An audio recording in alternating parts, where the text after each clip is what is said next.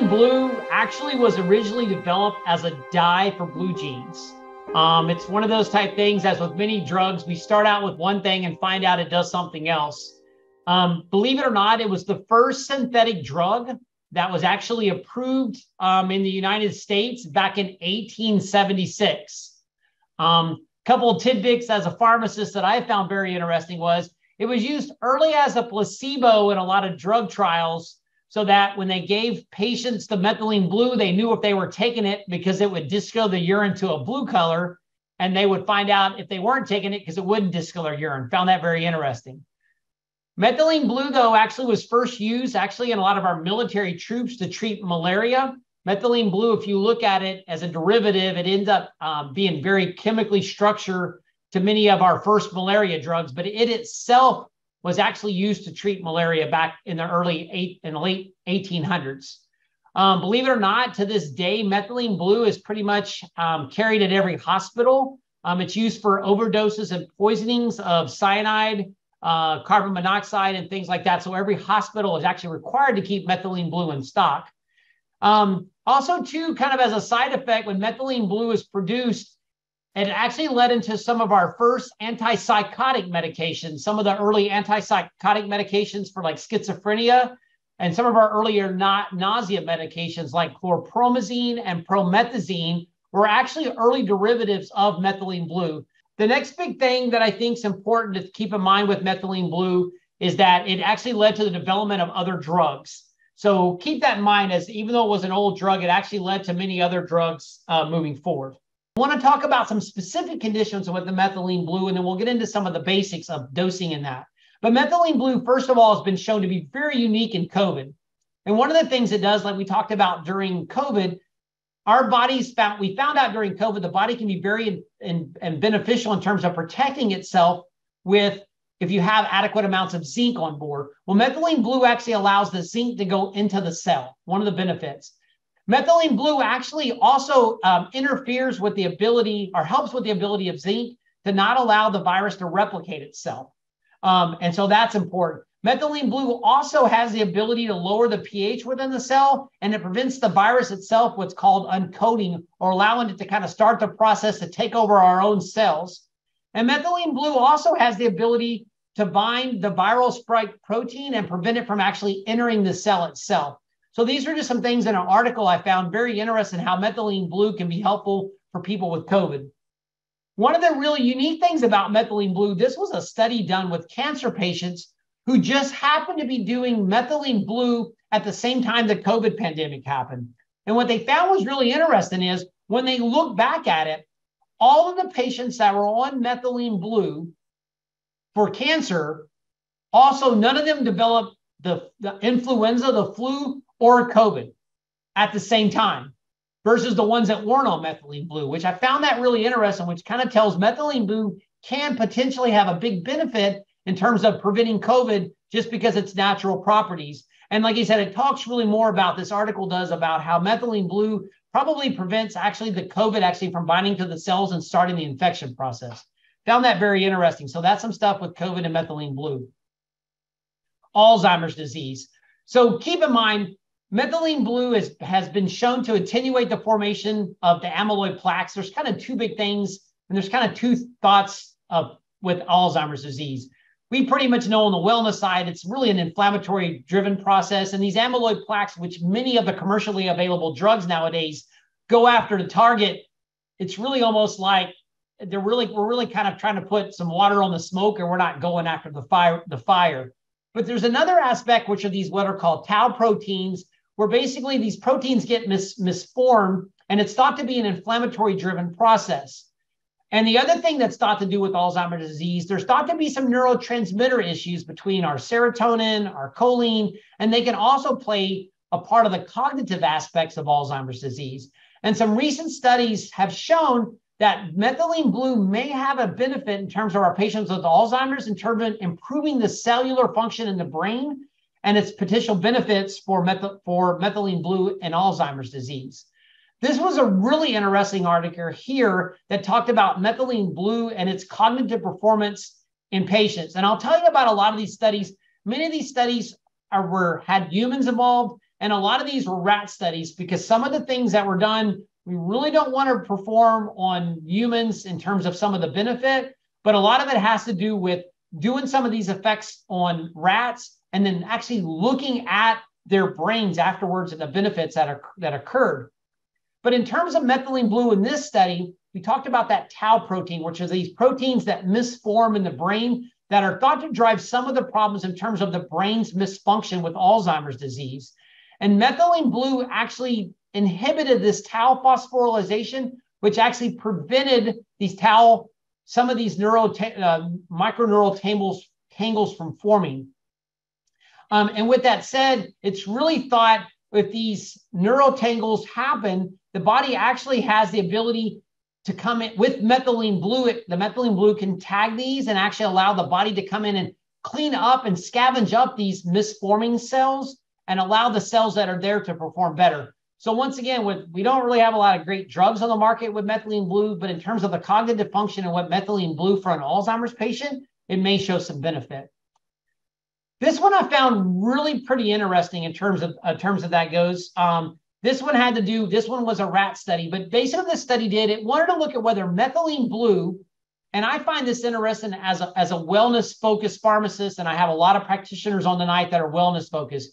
We have something that we talk a lot about, which is called leaky gut, and it's or what's called what you might call gastrointestinal hyperpermeability, and it's basically where due to our diets and different things, our food and different things, the gut lining separates. And when that happen, happens, our, we leak out what's called lipopolysaccharides. These are the cell walls off of the, the negative gram negative bacteria in our gut. And unfortunately, these lipopolysaccharides, or I'm going to say LPSs, actually are great inflammatory triggers for the body. Anybody that does wellness understands this and is like, yes, I know exactly what you're talking about. It drives inflammation, and inflammation drives a whole host of other diseases. And I was looking at this article because it was kind of unique.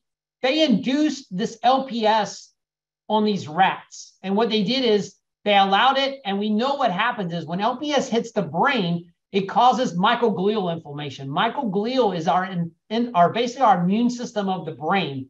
And when it gets cut on, it's hard to cut it off. And that's why when you think about it, if you eat a bad diet every day, you cutting this on every day, and it leads to things like cognitive decline, confusion. You can't have good memory. It can cause headaches. It can cause enhanced aches and pains. And so, what that said is they induced this in these rats. And then what was really neat is they gave methylene blue to these to these rats, and they looked at pro-inflammatory factors that are produced in the brain on these rats. And they actually found that methylene blue, when given to these rats that had this brain inflammation caused by this LPS, it resolved the neuronal inflammation. And it actually, the other thing about microglial inflammation, it's thought to lead to a whole host of cognitive issues in terms of um, depression, anxiety, could be schizophrenia, and a lot of and a lot of uh, psychiatric illnesses. And we actually saw in these rats, it reduced the LPS and some of the triggers that we know for these. Um, and basically, it's thought, hey, we maybe want to look at methylene blue in the in the future to reduce neuroinflammation to brain-related disorders that are, that are related, whether it was LPS that drove it or other conditions that drive our brain's immune system to be hypersensitive. This one was really kind of neat. I know probably all of us on this call would like to have better, better memory or better sustained attention or memory retrieval. Um, I have to thank Sarah Hover for this one. She sent me this one the other day. This one was really kind of unique, and this was actually done on humans. So what they did is they took and they looked at the sustained attention and memory enhancing potential within the brain, the parts of the brain where that occurs. And what they did is they administered methylene blue, and then they they they monitored the brain function before methylene blue and put the brain through some tasks, and then they monitored an hour later. And what was really kind of unique is, is that the methylene blue actually improved scores in terms of our short-term memory task recall and our memory retrieval.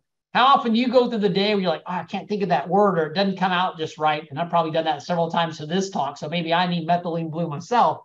But what was really kind of unique about it is methylene blue was actually able to increase the functional, Im- the, the magnetic resonance imaging in the brain of the areas that get used during the processes in terms of attention and memory.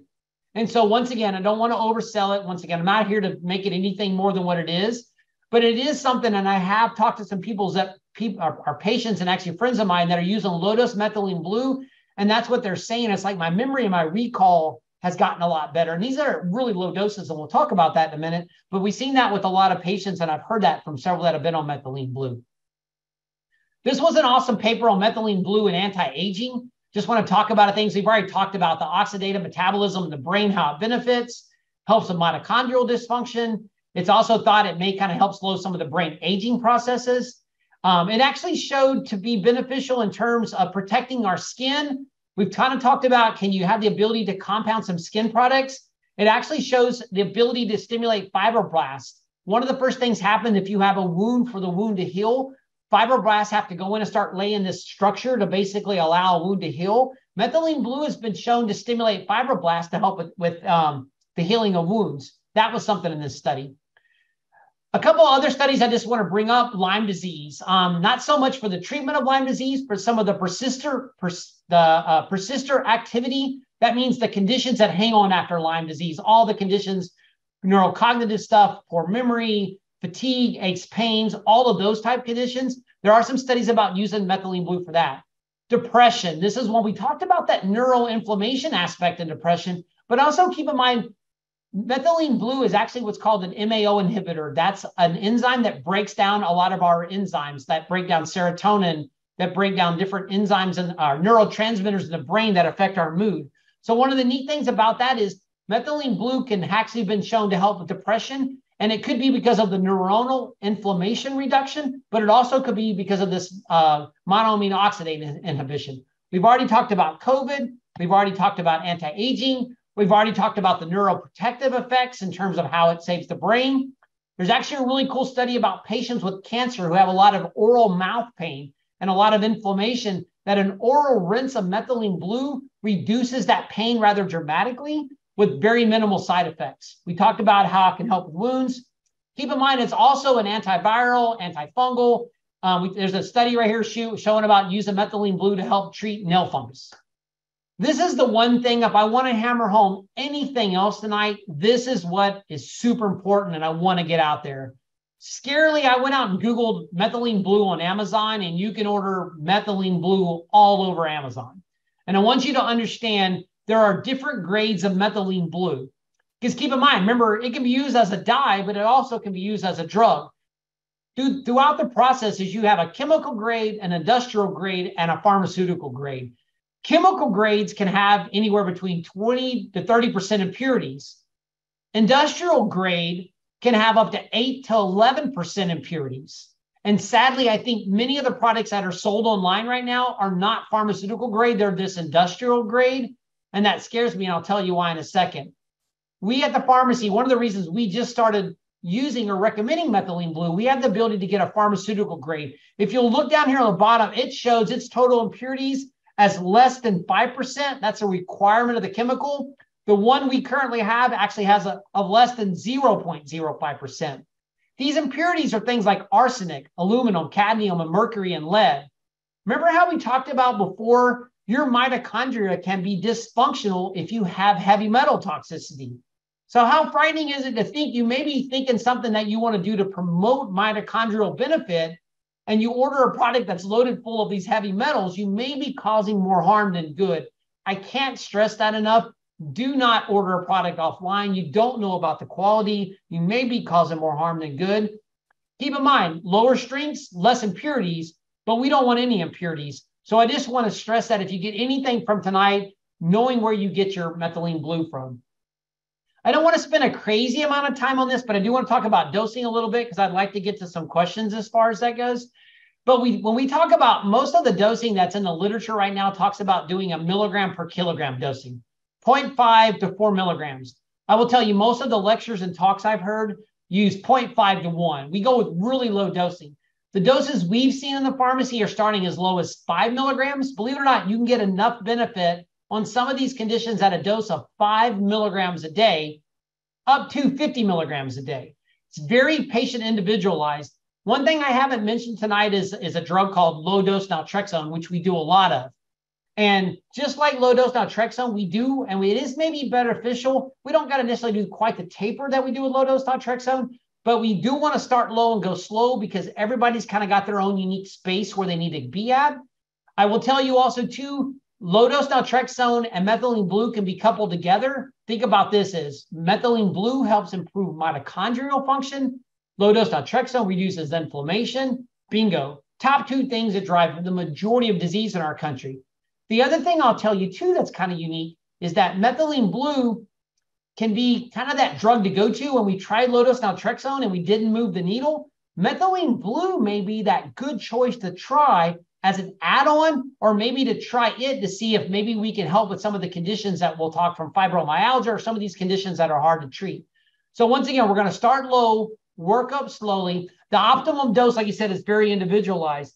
For the practitioners, methylene blue has about a 12 hour half life, which means the dose you do today will stay in the system Say we if we go for like five half lives, that's about 60 hours. So we're talking a couple days. It is excreted in the urine, and that's one of the unique things that makes methylene blue. It concentrates in the urine before the body excretes it.